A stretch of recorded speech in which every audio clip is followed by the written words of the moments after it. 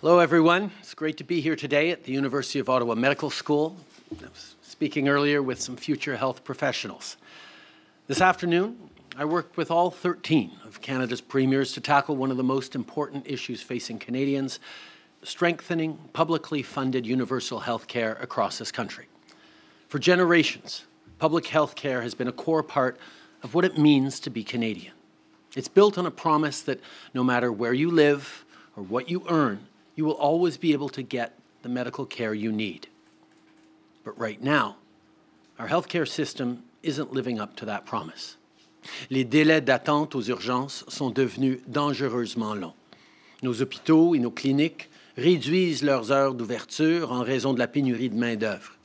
Il y a des millions de Canadiens sans médecin de famille ou d'infirmières praticiennes qui doivent se débrouiller seuls dans le système de santé. People are waiting too long for essential surgeries, and we're seeing a growing need for mental health care, especially amongst young people. Canadians deserve better. Notre pays est un leader mondial de la recherche dans le domaine de la santé. C'est au Canada que les opérations à cœur ouvert ont connu leur début, que l'insuline a été élaborée et que des découvertes sont faites couramment dans la lutte contre le cancer. Les soins de santé sont de calibre mondial, mais on a besoin d'un système qui fonctionne bien pour que tous aient accès à ces soins. The pandemic reminded each and every one of us just how important our health is. It also put enormous pressure on our healthcare systems and on our healthcare workers. And it made us take a hard look at the long-standing issues facing our healthcare. As leaders, we've come together to deliver tangible actions and outcomes today while building a more modern system to ensure results for all Canadians for the future. The provincial and territorial governments deliver health care with support from federal funding, which ensures that our collective commitment to the Canada Health Act is upheld. In fact, it's written right into the Canada Health Act that as governments, we need to protect, promote, and restore the physical and mental well-being of residents of Canada and facilitate reasonable access to health services without financial or other barriers. To help ensure that, we're announcing that the federal government will be providing $198 billion in additional federal health funding over the next decade. This includes planned increases to the Canada Health Transfer and new funding of 48 billion over the next 10 years. Obviously, this is a major federal investment in healthcare. But we all know that money alone is not the answer. Each province and territory is facing different challenges. That's why we're focused on negotiating 13 distinct bilateral agreements that will respond to various situations across the country. This will make sure that real improvements are made and accounted for, particularly in four priority areas primary care, healthcare workers, mental health, and health information and data. First, primary care, making sure Canadians have access to family doctors and nurse practitioners. It's about having someone you trust who knows you, your kids, your parents, your grandparents, and who will make sure that everyone gets the right care and finds the right specialists. A family health team is there to be your entry point into the healthcare system, so it doesn't have to be the emergency room. La deuxième priorité est d'aider les personnes au cœur même de notre système de santé et de réduire les listes d'attente. Les médecins, les infirmières, les ambulanciers et ambulancières, les préposés aux bénéficiaires et tout le personnel de la santé ont tout donné pour les Canadiens pendant ces dernières années épuisantes. Ils étaient les héros de la pandémie.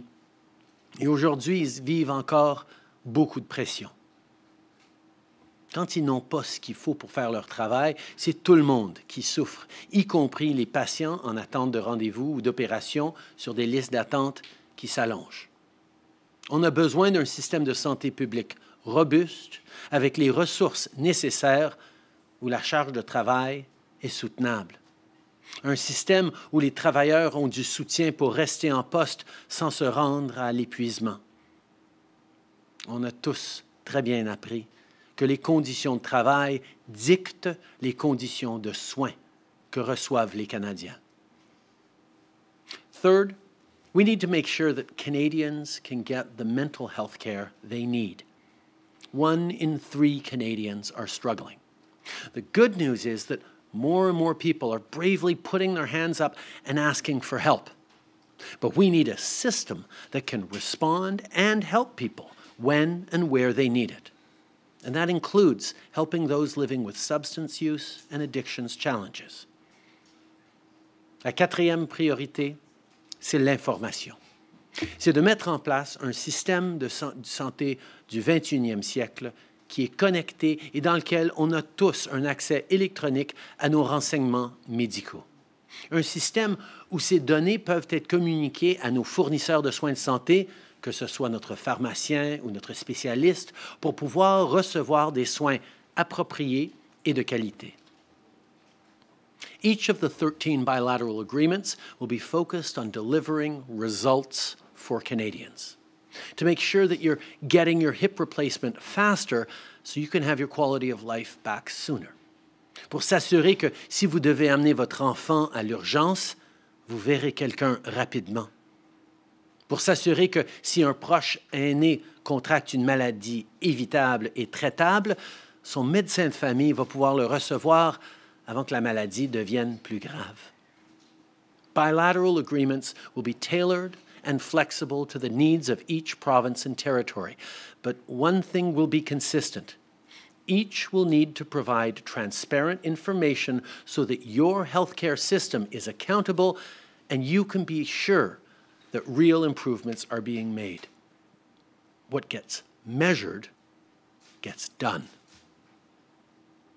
No matter your income or where you live, you deserve access to the best possible care from coast to coast to coast, whether you live somewhere remote, rural, or urban.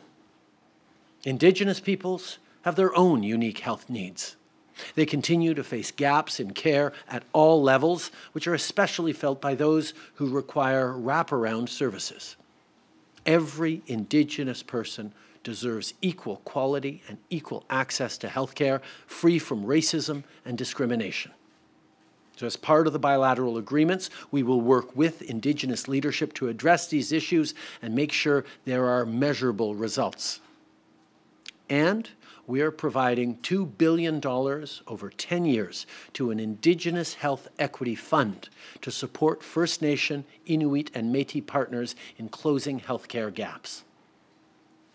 Healthcare has always been a priority for our government.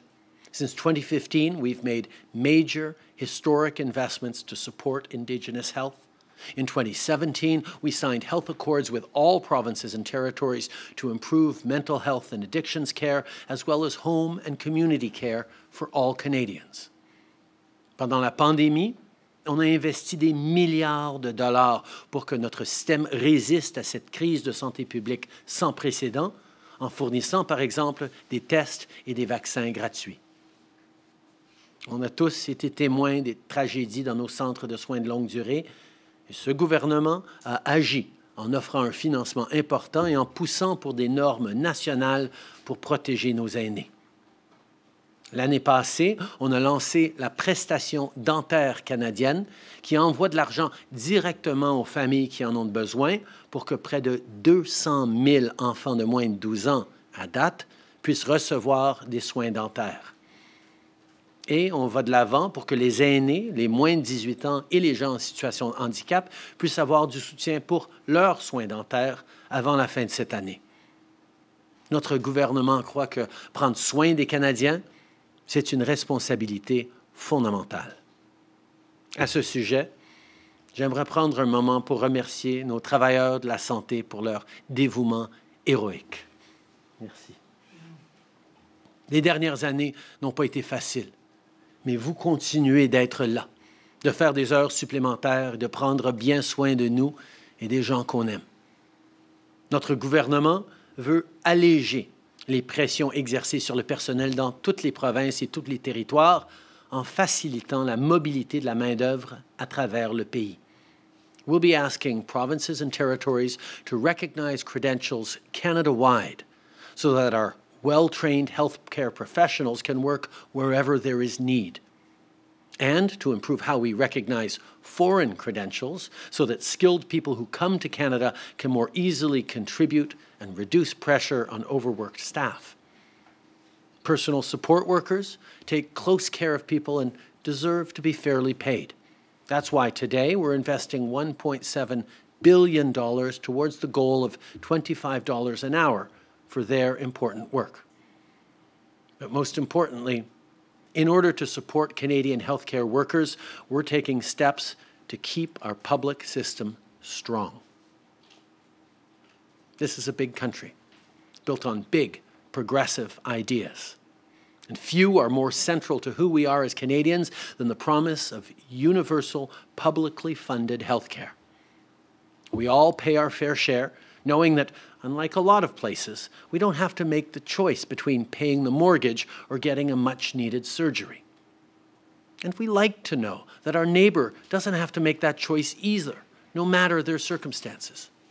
So when it comes to healthcare, we need to make sure to look out for everyone and leave out no one.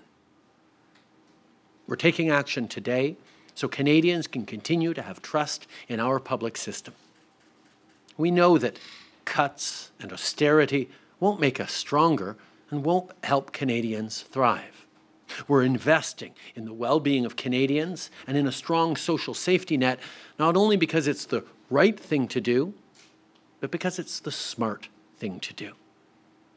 Canadians deserve to know that every new dollar being announced today is exactly that a new dollar that will go towards the improvements in healthcare that Canadians need.